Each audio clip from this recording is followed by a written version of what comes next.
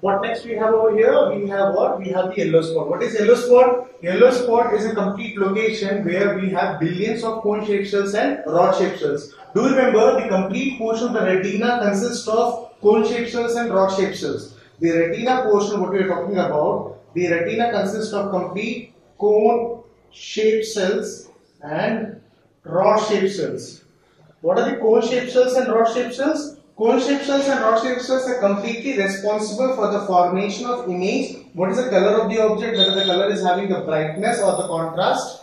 So these two cells are completely responsible.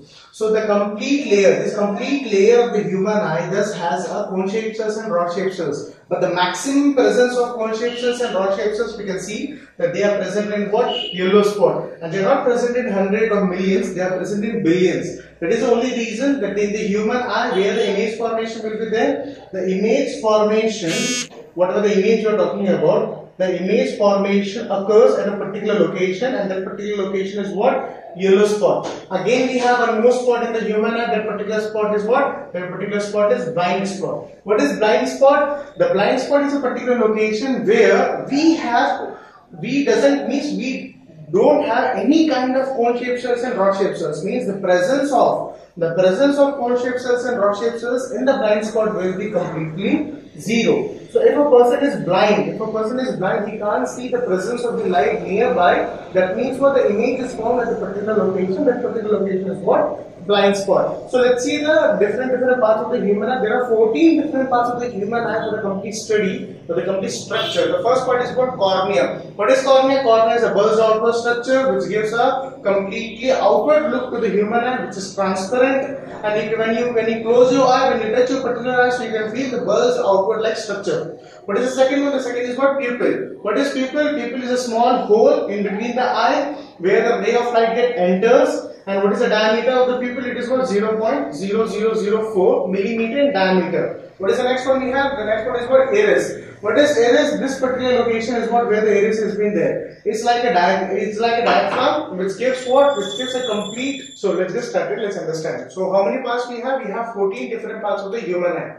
So till where we have completed, we have completed till iris. What next we have? We have what humor. What is? Aqueous humor gives the moisture to the human eye through which the particular movement of the eyeballs can be happening in a smooth, smooth interaction way. Next is what? Ciliary muscles. What are the ciliary muscles? These particular muscles, what you can see over here, these particular muscles are what? Ciliary muscles. What are the ciliary muscles particularly used for? Ciliary muscles gives a structural support to the crystalline lens. And why the ciliary muscles are used? If the structural support to this crystalline lens will not be there, that means what? It will not have a particular support. And the additional support to the ciliary muscles will be given by suspensory ligament. What are the suspensory ligament?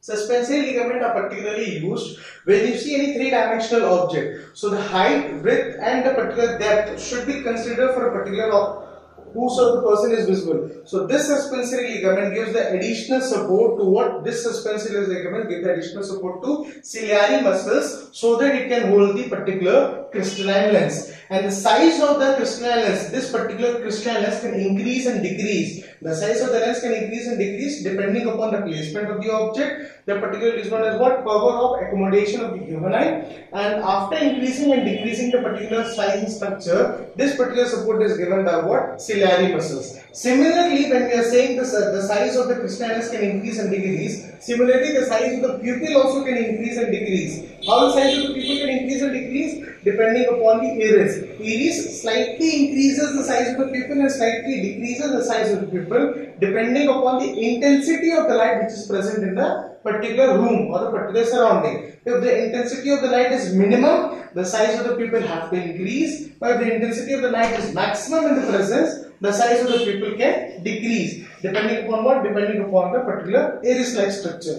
What next we have? We have next that is what crystalline lens. What is crystalline lens? Again a crystalline lens is a double convex lens where we can have a particular image formation at the point of yellow spot. Now what next will be that we have what vitreous humor. Again a vitreous humor is a liquid which is fluid in between the ciliary muscles, crystalline lens and the retina. Do remember the refractive index of the crystal, the refractive index of the vitreous humor will not increase. The refractive index has to be remain fixed. The next we have was sclera. The sclera is the outermost layer of the human eye. This particular outermost layer of the human eye is what? Sclera. This, this particular outermost layer of the human eye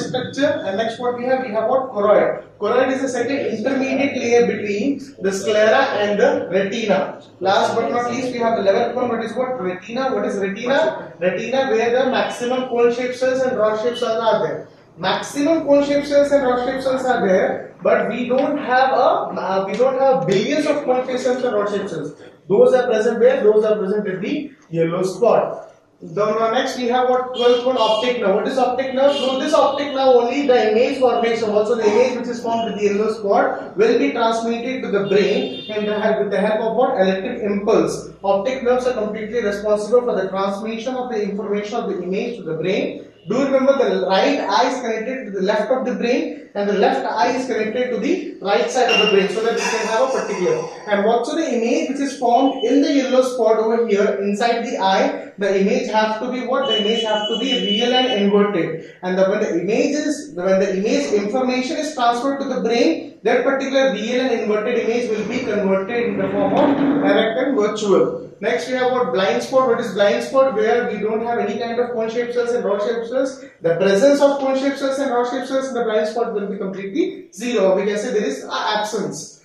And last but not least, we have what yellow spot. What is yellow spot? Yellow spot where the billions of cone shaped cells and rod shaped cells are there, which are completely responsible for the formation of image.